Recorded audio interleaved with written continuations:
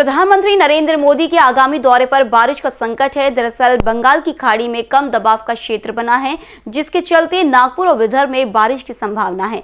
10, 11 और 12 दिसंबर को प्रधानमंत्री के दौरे के दौरान नागपुर में हल्की से मध्यम बारिश की उम्मीद जताई जा रही है। अभी चूँकि एक अवदाब बना हुआ है बंगाल की खाड़ी में तमिलनाडु के तट से थोड़ी दूर पे है। और ये अभी और इंटेंसिफाई हो सकता है, हो सकता है ये रात तक साइक्लोन बन जाए। और ये इसका इफ़ेक्ट जो है विदर्भ पे भी थोड़ा होने की संभावना है। चूँकि इसके कारण विंड का डायरेक्शन जो है, हमारे यहाँ पे विदर्भ में पूर्वी हो जाएँगे और बंगाल की खाड़ी से नमी आएगी। तो अगले तीन चार दिन जो है टेम्परेचर हमारा बढ़ा हुआ रहेगा। मॉइस्चर इनकर्शन के कारण और क्लाउडीनेस रहेगा।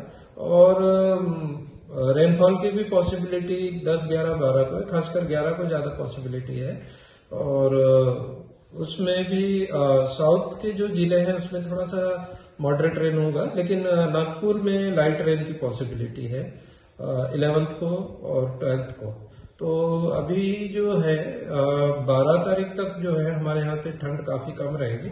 बारह के बाद में जैसे ही डिप्रेशन का असर खत्म हो जाएगा, उसके बाद में टेम्परेचर गिरेगा और फिर सामान्य ठंड विदर्भ में चालू हो जाएगी।